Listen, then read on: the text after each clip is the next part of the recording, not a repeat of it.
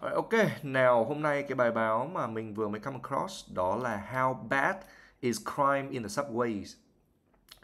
Cái tình hình tội phạm, đúng không? Tình hình tội phạm này ở những cái khu vực điện ngầm, tàu điện ngầm nó tồi tệ như thế nào? Đấy, subway. Cứ sub nhé, sub đó là ở phía dưới. Đó, way là con đường đúng không? Tới đây đường điện ngầm này. Officials have spent millions to make New Yorkers transit riders feel safe những cái nhà chức trách thì đã chi tiêu rất là nhiều triệu đô la để mà khiến cho những người sống ở New York có thể đi lại một cách à sorry những người đi lại cái um, phương tiện công cộng ở New York có thể cảm thấy an toàn. Nào chúng ta sẽ có cái từ million ở đây nó dùng kiểu nói về mức độ ấy. Vậy thì đó là hàng triệu nhé. Đấy, chứ còn khi mà mình có một cái con số cụ thể ấy, ví dụ 13 triệu ấy, thì từ million ấy, nó không có s đâu đó, nó sẽ viết như thế này. Còn đây là millions, tức là hàng triệu. Đấy. Rồi transit, tức là nói đến những thứ gì vận chuyển kiểu đám đông, uh, thường nói kiểu như các cái phương tiện công cộng. Nhé, và transit riders, tức là người sử dụng phương tiện công cộng. Đấy, người sử dụng phương tiện công cộng nhé. Từ này có thể sử dụng trong IELTS ngon lành đúng không? Đấy, đã chi tiêu hàng triệu, hàng trăm, ừ, hàng triệu đô la để mà khiến cho người ta cảm thấy an toàn này. Cái sự đầu tư thì nó được uh, thúc đẩy bởi cái nhận thức của từ từ bởi nhận thức của um, của của của người sử dụng phương tiện công cộng uh, hơn là cái tỷ lệ tội phạm. Nó được thúc đẩy nhiều hơn bởi cái nhận thức của người sử dụng phương tiện công cộng thay vì là cái tỷ lệ tội phạm. Nào chúng ta sẽ có investment sự đầu tư motivated more tức là nó được kích thích nó được thúc đẩy nó được tăng cái động lực nhiều hơn. Đấy, và passenger tức là hành khách perception thì perceive một thứ gì đó tức là kiểu mình nhìn nhận nó Đấy, mình tiếp nhận nó và đây này ý nghĩa ẩn dụ của nó là cái nhận thức nhận thức của hành khách ừ, passengers perception Ok, chúng ta đây là bài báo nói về phương tiện công cộng nhé ở bên uh, New York. À, chúng ta sẽ đọc này. Nào, government ý của nó là kiểu governor, tức là cái người uh, ủy viên. Kathy uh, cái cái gọi là cái um, cái cái động cái động lực mới cái uh, lực đẩy mới của ủy viên Casey để mà phân bố hàng trăm những cái người mà từ từ những cái gọi là kiểu như công an ờ, của bang đúng không? Cái người giám sát của bang và những cái thành viên đội bảo vệ quốc gia ở cái con đường điện ngầm của New York. Ui dồi toàn những từ khó. Hơi khó dịch các bạn ạ. Đấy, đầu tiên nhé cứ phân tích từng từ một chút. Push thì đó là cái lực đẩy và nếu mà dùng ở dạng ẩn dụ tức là cái sức ép đó cái sức ép mới của ủy viên Casey để deploy từ này này deploy là phân bố À, một đấy đó là mình sử dụng hiệu quả một thứ gì đó tức là mình deploy thứ đấy. Hai đó là khi mà mình kiểu uh, cử người hay là cử những cái đơn vị lực lượng đến đâu đó thì đấy gọi là deploy. Yeah. Và đây state troopers tức là những người mà có thể coi như là các cái viên cảnh sát đấy.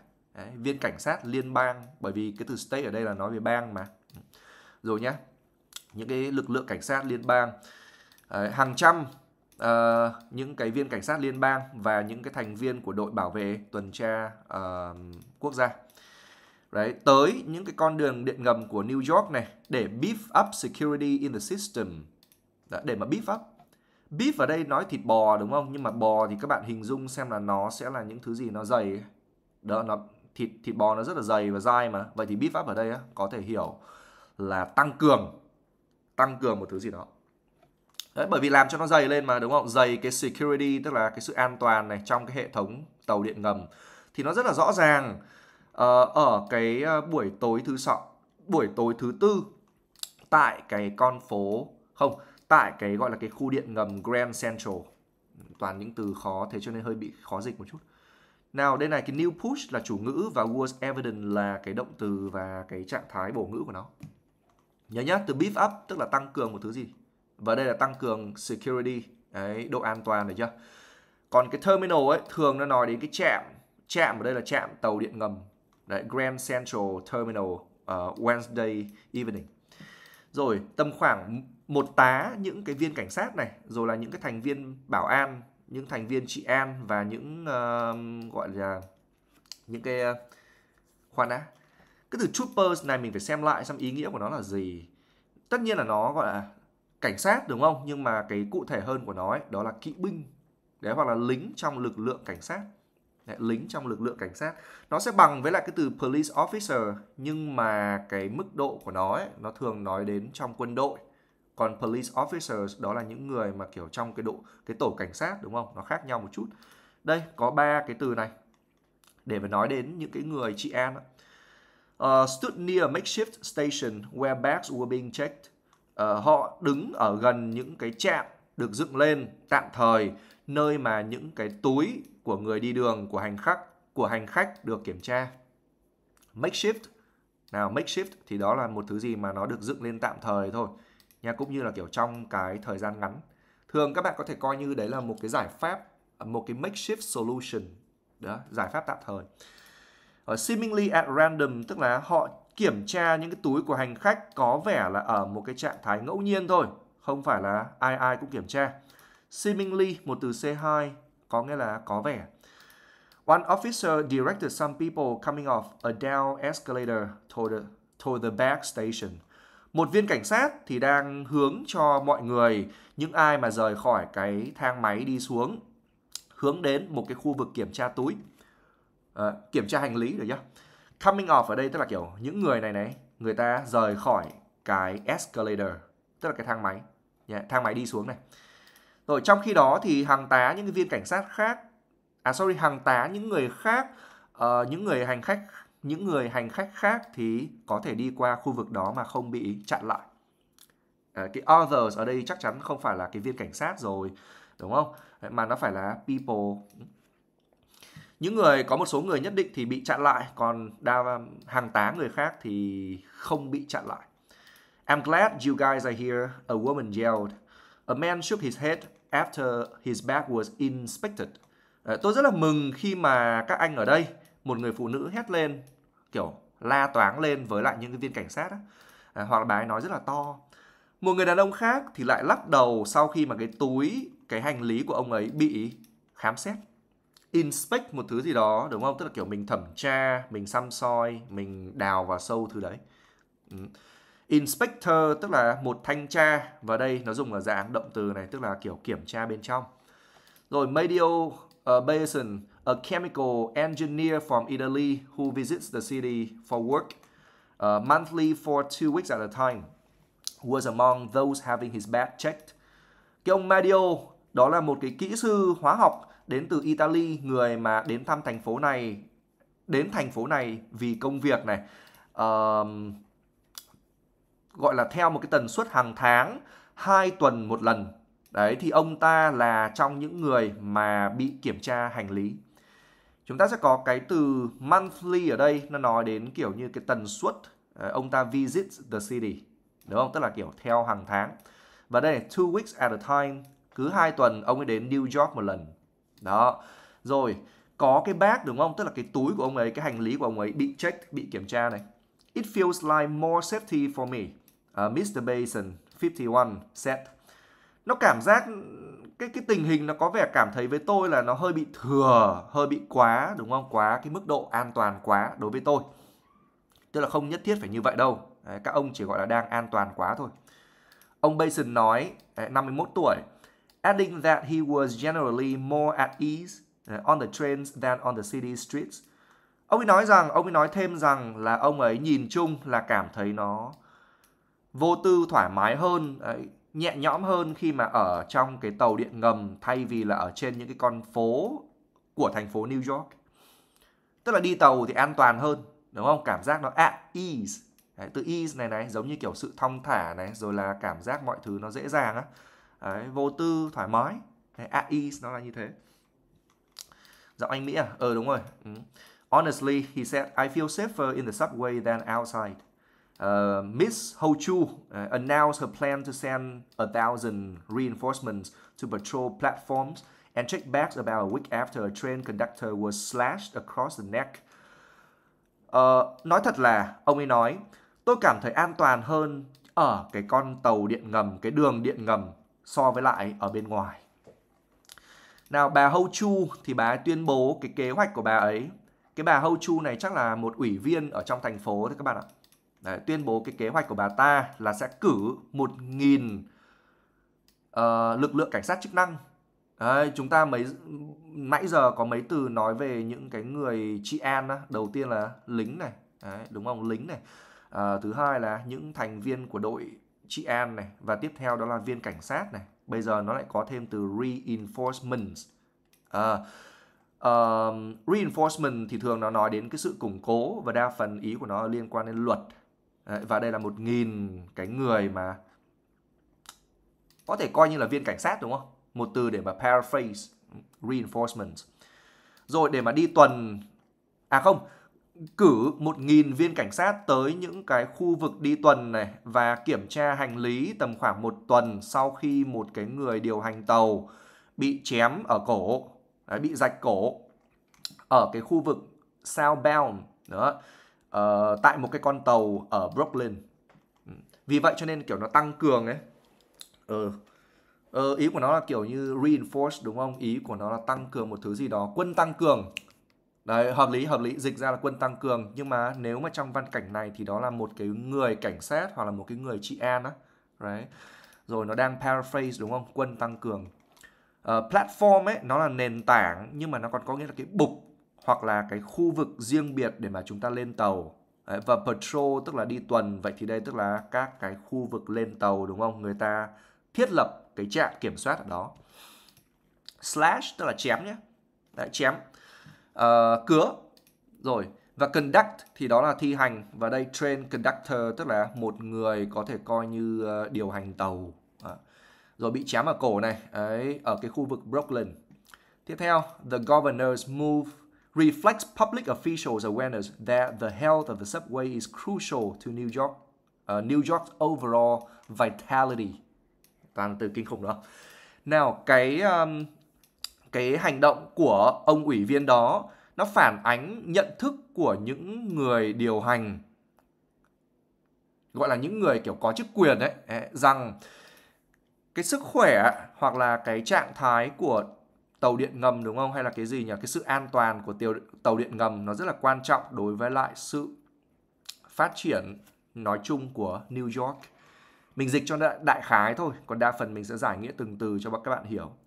Cái move đó là cái sự di chuyển nhưng mà nghĩa C2 của nó tức là cái hướng đi. Đấy cái hướng đi hoặc là cái quyết định của ai đó. Rồi cái quyết định của ai đó uh, reflect tức là phản ánh. Đấy, phản ánh cái awareness tức là phản ánh cái nhận thức này của public officials tức là những người chức trách những nhà chức trách. Đấy. Nhận thức này rằng này the health nó dùng theo nghĩa ẩn dụ tức là cái cái sự an toàn. Đó là sự an toàn của subway. Nó rất là crucial tức là nó rất là quan trọng đối với lại cái vitality của New York. Vital thì thường nói đến kiểu nội tạng xong rồi là cái tính quan trọng đấy, của những thứ gì kiểu cốt lõi. Thì vitality tức là cái sức sống. Nhá, vitality là sức sống. Cái sức sống chung đúng không? Sức sống mà nó toàn diện của New York. Các bạn thấy văn báo chí nó hay không? Nó dùng theo cái nghĩa ẩn dụ nhé ý của nó ấy đó là cái nhịp hay là cái sự phát triển đấy, nội tại của New York. Rồi which makes uh, ensuring that passengers feel safe a top priority for those managing the city's post-pandemic recovery.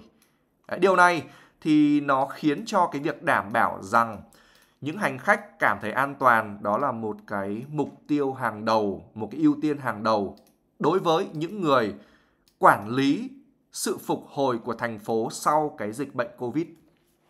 Đấy, ok. Chúng ta sẽ có những từ nâng cao này. Nhớ nhá, vitality tức là cái sức sống của ai đó. Nếu nghĩa ẩn dụ thì đó là cái cái long mạch. Đó cái long mạch của New York. Đấy, rồi ok. insure thứ gì đó là đảm bảo cho thứ đấy nó có thể xảy ra. Đảm bảo rằng uh, hành khách cảm thấy an toàn. Priority đó là một sự ưu tiên và đây là ưu tiên hàng đầu. Đó. Còn post thì nó miêu tả những thứ gì ở phía đằng sau. Pre là đằng trước đúng không? Và đây là cái sự phục hồi này, recovery. Khi mà mình recover tức là kiểu mình đang bình phục á. Đây là danh từ của nó. Sự phục hồi sau dịch bệnh của thành phố. Right? Ui rồi hay. Tiếp theo chúng ta xem một cái đoạn nữa nhé. Now here's what we know about crime in the subway. Đây là những thứ mà chúng tôi biết về tình hình tội phạm ở tàu điện ngầm. Liệu rằng crime, tội phạm nó có phải là vấn đề trong cái um, cái cái tàu điện ngầm hay không đúng không? Đấy. Although surveys by the Metropolitan Transportation Authority, uh, which operates the subway, show that the num a number of riders feel unsafe. Này, data has not always confirmed the public's perception. Mặc dù những cái sự khảo sát được tiến hành bởi lực lượng chức năng quản lý giao thông đô thị ấy thứ mà nó điều hành cái đường đường tàu điện ngầm những cái khảo sát đó cho thấy rằng một con số những hành khách cảm thấy không an toàn thì dữ liệu nó không luôn luôn được xác nhận bởi cái nhận thức của công chúng. Ôi toàn những từ kinh khủng này. Chúng ta sẽ có từ ờ, gì nhỉ? Survey nó dùng ở dạng danh từ đúng không? Tức là những khảo sát. Show that tức là cho thấy rằng một con số những rider rider tức là người cưỡi đúng không? Nhưng mà khi mà đi với lại cái con tàu á, những cái phương tiện công cộng thì ý của nó là hành khách đấy. Đó.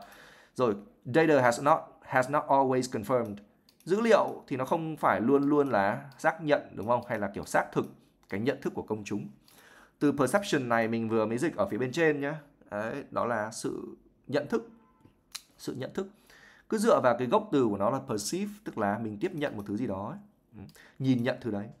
Crime rate ờ, uh, jumped during the coronavirus pandemic. Đấy, thì tỷ lệ tội phạm nó đã jump tức là nó đã gia tăng rất là mạnh đấy, trong cái thời covid này uh, bắt đầu từ năm 2020 nhưng mà cái tượng cái đường tàu điện ngầm nó trở nó đã kiểu trở thành an toàn hơn kể từ năm ngoái.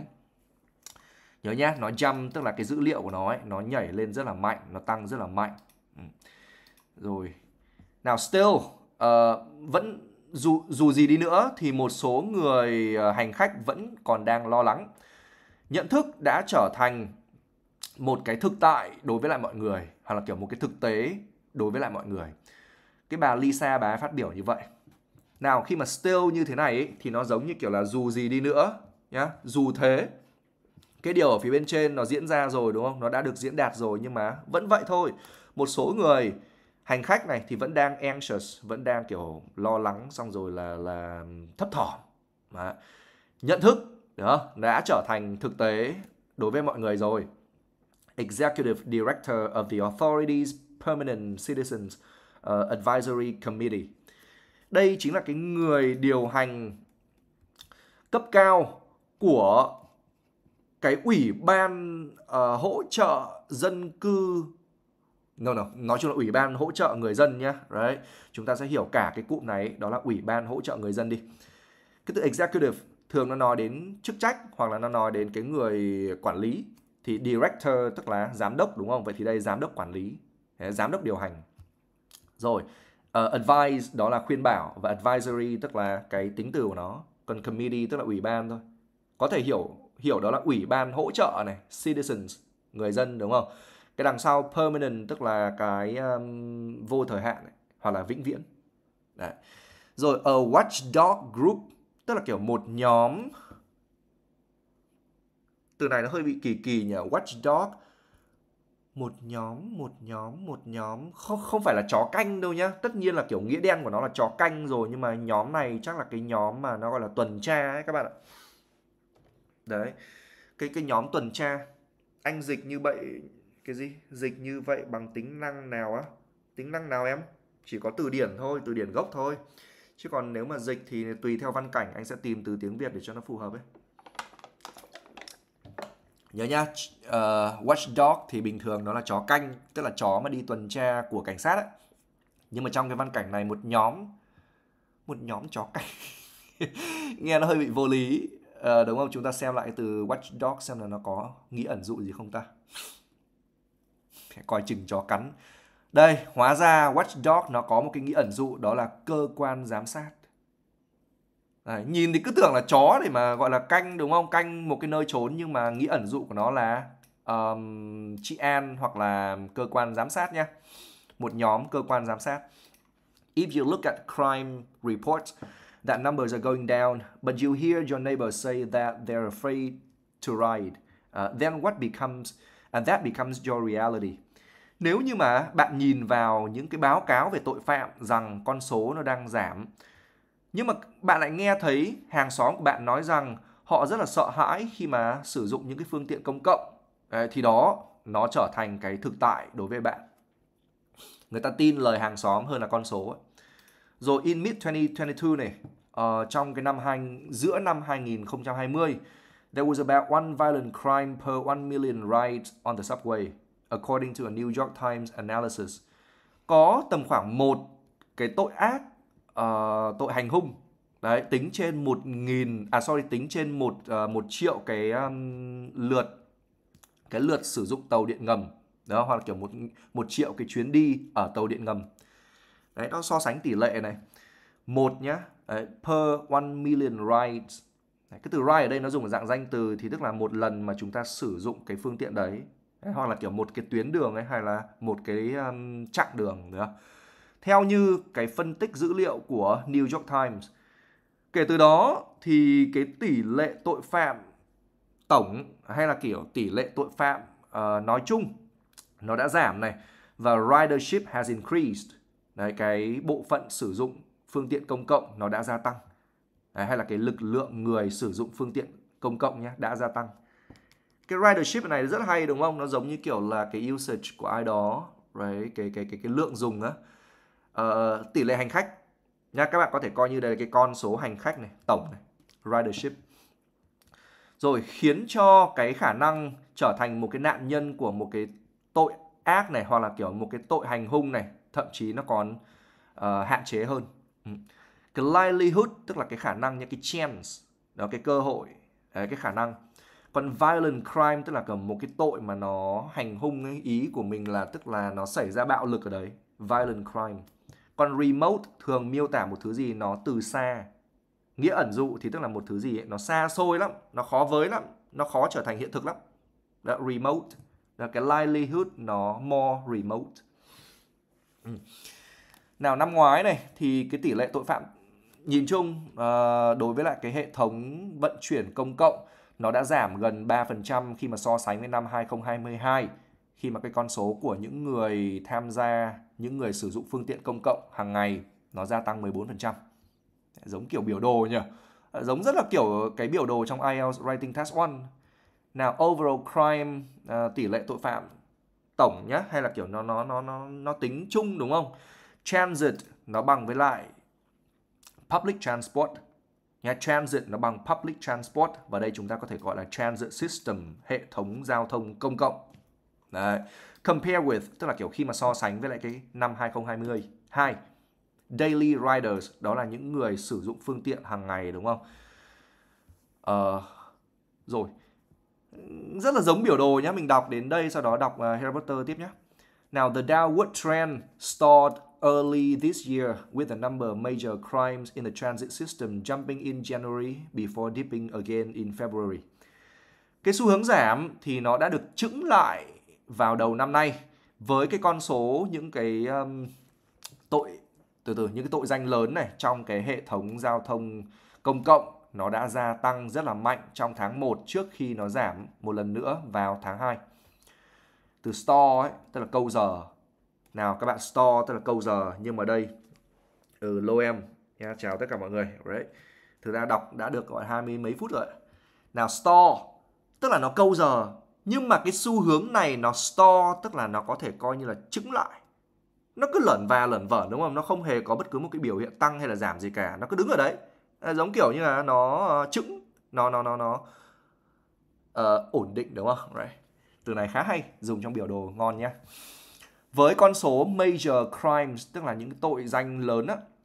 Những thứ gì nó major transit system nói rồi hệ thống giao thông ờ, công cộng này nó jumping tức là nó nảy nó nhảy lên rất là cao ừ. tức là thế nào nhỉ À hiểu rồi, tức là tính tổng nó vẫn chững lại tại một điểm mặc dù đằng trước đó thì nó tăng mạnh nhưng mà đằng sau nó thì nó cũng giảm mạnh rồi. Đúng không? Nó dip ở đây tức là bình thường cái hành động dip ấy, là mình chấm nước mắm hay là mình chấm nhúng xuống nước. Đấy nhưng mà nghĩa ẩn dụ của nó tức là giảm mạnh một lần nữa vào tháng 2 này. Rồi, through March 3 There had been three homicides uh, in the system. Đó. Đi qua đến ngày tháng 3 của um, ngày 3 tháng 3 thì lại có ba cái vụ cái vụ có thể gọi là vụ vụ vụ ám sát à? Đấy, homicide tức là kiểu như nói đến uh, án mạng nhé hay là ám sát trong cái hệ thống giao thông uh, uh, công cộng này khi mà so sánh với lại một một vụ trong cái giai đoạn tương tự vào năm ngoái nhớ nhắc cái từ homicide này này nó khá là giống cái từ murder. À sorry nếu mà bảo là murder thì nó không hẳn. Death. Đó death cái chết. Yeah. rồi theo như dữ liệu của cảnh sát này police data. Overall major crimes including felony assaults uh, burglaries and grand larcenies have increased 30% nhìn chung thì những cái kiểu tội danh lớn cái tỷ lệ tội danh lớn đấy, bao gồm là những cái vụ tấn công mang tính chất uh, cái từ felony này này thường nó miêu tả một cái tội gì đó mà nó liên quan đến cục liên bang hoặc là kiểu liên quan đến đến đến uh, uh, federal từ từ mình sẽ tìm cho mọi người ý nghĩa hợp lý của nó nhé. Đây tấn công trọng tội. Đúng rồi từ felony tức là trọng tội. Felony là trọng tội. Còn assault thì đó là cái sự kiểu mình lao vào mình hành hung người khác mình đánh người khác. Đấy còn burglaries đó là kiểu cướp giật đúng không? Trộm cắp xong rồi grand larceny. Larceny là một từ nó có nghĩa là mình uh, ăn trộm nhưng mà ý của nó là kiểu như có âm mưu rồi với lại đôi khi đọc là hiểu đấy đúng không? Nó là ăn trộm nhá nó là ăn trộm larceny là ăn trộm. Đấy ăn trộm nhưng mà cái mức độ của nó nó nó khác với từ stealing ấy là ở chỗ là larceny thường nó nói đến những cái món mà nó có giá trị lớn thì nó gọi là larceny Đấy, và grand thì nó cũng là bổ nghĩa cho larceny đúng không? Tức là những cái vụ cướp giật ăn trộm với cái giá trị lớn. Ừ. Thì đã gia tăng 13% tính tới thời điểm hiện tại vào năm nay. Đấy, theo như cái dữ liệu nó cho thấy. The data shows. Nhớ nhá, larceny thường nó dùng theo kiểu như liên quan luật lá À, cho tới 25 tháng 2 này thì những nhà chức trách nói chung là kiểu các cái bộ phận chức trách nói chung đã Talit đã trừng trị 6 cái vụ tấn công uh, từ từ 6 cái vụ tấn công nhắm đến những cái nhân viên của đường điện ngầm đúng không? Cái tàu điện ngầm. Right nó đã gia tăng lên từ 5 cái vụ tấn công so với lại năm ngoái theo như dữ liệu của cảnh sát. Cứ từ authority đó là nhà chức trách. Và khi mà các bạn dùng kiểu như là chính quyền nói chung á thì nó phải là the authorities số số nhiều. Yeah, the authorities ở dạng số nhiều như thế này nhà chức trách. Đấy, chính quyền nói chung á. Còn tally ở đây chắc chắn là nó phải liên quan đến cái xét xử. Đó liên quan đến việc mà nó gọi là xử án rồi.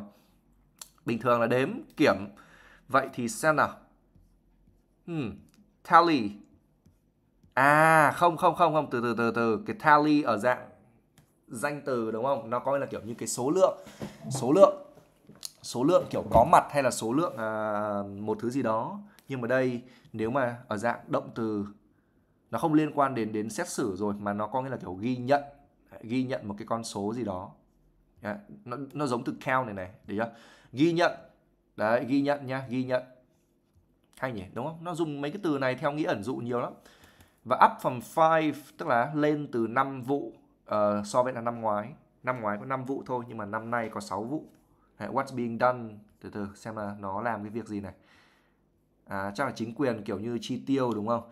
Trong hai năm trước thì uh, state and, lady, and, and city leaders have introduced several anti-crime initiatives in the subway.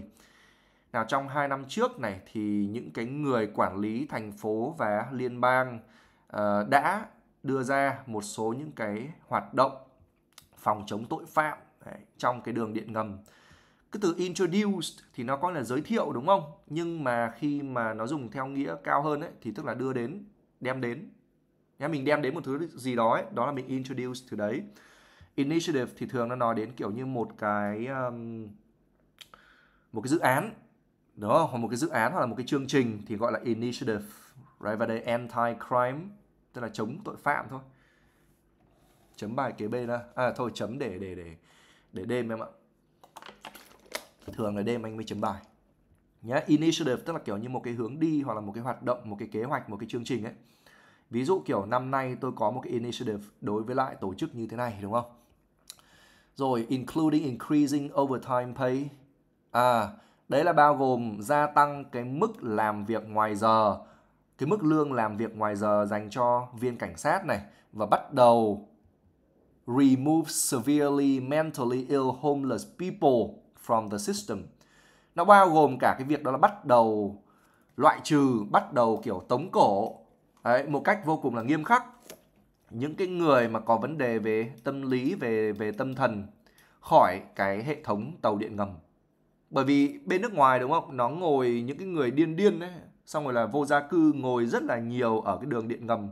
Thế cho nên là đây các cái um, chính trị rồi là uh, cái gì nhỉ những người quản lý này uh, thành phố và bang đúng không state ở đây là bang nhé uh, ờ, nước Mỹ thì nó có tầm khoảng năm mươi mấy bang ấy right. mentally ill những người có vấn đề về tâm thần đúng không về tinh thần right. không có bình thường crazy các thứ ấy. homeless tức là người ta không có home người ta không có nhà vô gia cư Đấy. rồi những nhà chức trách này cũng đã thiết đặt hàng trăm những cái camera giám sát ấy, bao gồm cả những cái bao gồm cả trong những cái um, khoang tàu. Là chúng ta sẽ có từ install tức là cài đặt. Đây surveillance camera. À, ý của nó là kiểu camera giám sát giống cái từ CCTV nhỉ? Mỹ 50 bang uh, the United States đúng không? Tức là cái um, những state những bang đã được thống nhất lại với nhau. Đấy, có 50 bang. Nó có cả một cái bài hát nói về các cái bang thôi mà.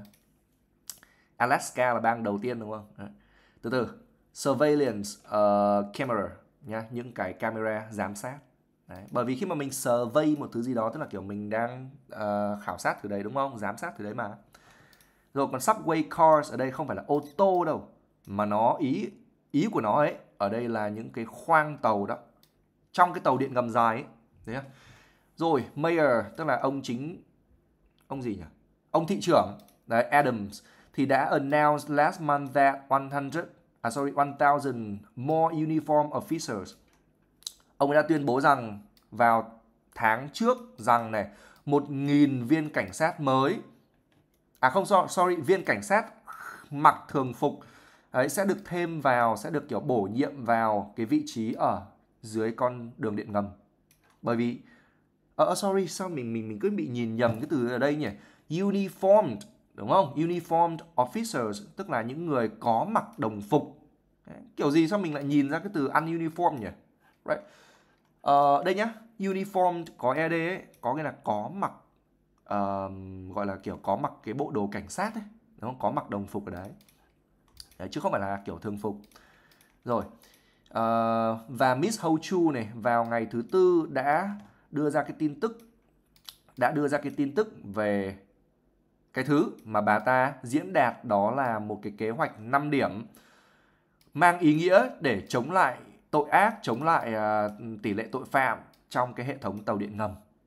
Release tức là kiểu công bố ấy, Đấy, đưa ra thả ra một thứ gì đó công bố cái tin tức và five point plan tức là một cái kế hoạch 5 điểm đúng không? Vậy thì từ ý của nó chắc là như thế này này điểm thứ nhất nó thiết đặt ở đây xong rồi một vài chặng thì nó lại có điểm thứ hai đúng không? Tổng cái chặng đường nó sẽ là có 5 điểm. Combat tức là đánh nhau. Đấy hay là kiểu như vào combat các bạn hay chơi game nói như thế đúng không? Nhưng mà ý nghĩa ẩn dụ của nó ấy, tức là chống lại một thứ gì đấy. đấy đối phó với lại crime tức là tội phạm này. The plan included uh, deploying state law enforcement officers as well as measures that require the approval of state lawmakers cái kế hoạch này thì nó bao gồm phân bổ những cái viên cảnh sát thực thi pháp luật của bang cũng như là những cái biện pháp mà nó yêu cầu cái sự chấp thuận của những người ra luật trong bang đó. Những người kiểu như là những những những những, những gì nhỉ? Những thành viên ban hành luật của bang ấy. Chúng ta sẽ có cái từ deploy ấy, đó là kiểu phân phân bổ cái lực lượng nhé đấy thì gọi là deploy và nếu mà ý nghĩa khác của nó ấy, thì tức là sử dụng một thứ gì đó tối ưu. Right? nhưng mà đây có binh lính này xong rồi có cảnh sát á, thì tức là kiểu mình phân bổ cảnh sát cho người ta ra quân. À, de deploy ở đây có thể hiểu là ra quân nhé đó rồi ra quân. Còn measure tức là cái biện pháp xử lý. Đó và đây là kiểu nó bao cái kế hoạch này này bao gồm cả những biện pháp xử lý mà yêu cầu cái sự chấp thuận approval mà đúng không? Sự đồng tình chấp thuận. Còn state lawmakers à, những người mà điều hành ấy chính uh, chính trị gia xong rồi là ở trong đảng hay là trong uh, chính phủ ấy đều có thể được gọi là lawmakers. Những người thi hành à sorry những người đặt ra luật đúng không? Uh, and would allow judges to ban people convicted of coming uh, convicted of committing a violent crime from the subway và những cái ờ, kế hoạch đấy nó cũng sẽ cho phép những thẩm phán để mà cấm cấm những người từ từ ban people convicted cấm những người đã bị tuyên án là mắc phải những cái tội danh um, cái gì nhỉ? Tội danh um, hung bạo hành hung người khác. Đấy cấm người ta khỏi cái việc là sử dụng cái đường điện ngầm. Ừ cái convict tức là kiểu tuyên án đó. và ở đây convicted tức là đã bị tuyên án. Đấy, của cái đằng sau. Tức là mắc phải những cái tội danh hành hung đúng không? À, không được sử dụng subway nữa. Tôi nghĩ rằng là những cái dự án này những cái hướng đi này nó sẽ make the system actually safer and feel safer. Đấy, nó khiến cho cái đấy thực sự là an toàn và tạo ra cảm giác an toàn hơn. Ờ, tại sao nó dùng từ feel ở đây? Bởi vì nó nó muốn nói đến cái nhận thức của mọi người ấy. Đấy, đôi khi nó thực sự là an toàn nhưng mà người ta không nhận thức thấy là nó an toàn đâu. Đó. Rồi the MTA's chairman and chief executive um, said after the governor's announcement. Cái ông chủ tịch, chairman nhá, chủ tịch này và cái người điều hành chính của cái công ty MTA nó giống kiểu ATM nói phát biểu sau khi cái tuyên bố của thống đốc à, governor có thể hiểu là thống đốc hoặc là cái người mà gì nhỉ?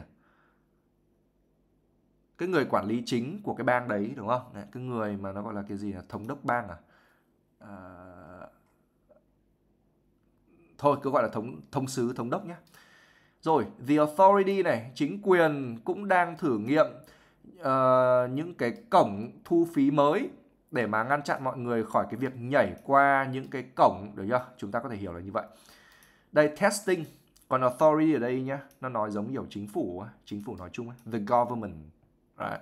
Và new fare gate fare nó là cái lộ phí. Fare là phí nhá và khi mà các bạn nói rằng phí đi đường ấy, travel fares đúng không? Hoặc là kiểu như phí sử dụng các cái dịch vụ phương tiện công cộng á, nó sẽ có thể sử dụng từ fare đấy airfare chẳng hạn đi thì nó sẽ là cái phí máy bay. À, giống kiểu tiền mua vé. Đấy đây fare gates đó là cổng thu phí. À. rồi ngăn chặn mọi người khỏi cái việc nhảy này. Qua những cái barriers platform đúng không? À, nhảy qua cái gì? Nhảy qua cái metal platform barriers.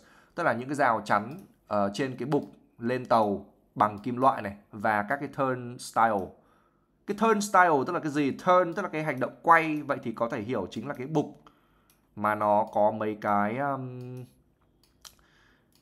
mấy cái thanh sắt ấy. Xong rồi chúng ta kiểu như xoay nó đúng không? Để mà đi qua. Đấy turn uh, à, turnstile right. Rồi turn styles và metal uh, ờ, platform barriers.